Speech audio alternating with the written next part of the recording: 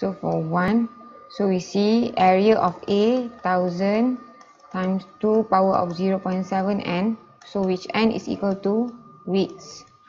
So infestation is that infestation.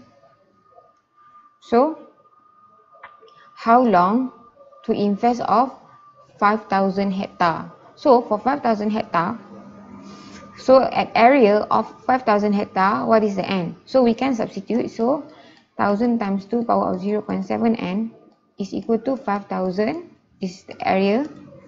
So 2 power of 0.7 n is equal to 5000 divided by 1000. So we divide the 1000 so that we can get the one with the power only. So we get 5. So we can add log. So log 2 0 of 7n is equal to log 5.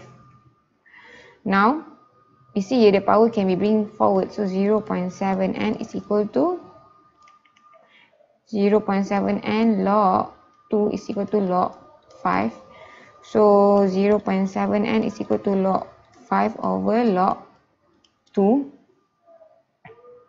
and then n is equal to log 5 over log 2 divided by 0.7 which is equal to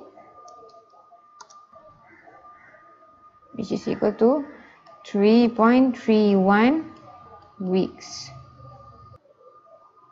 Or if you want in days, so we have 0 0.3, 0 0.3 weeks times 7 day in a weeks. So we get 2.1 day.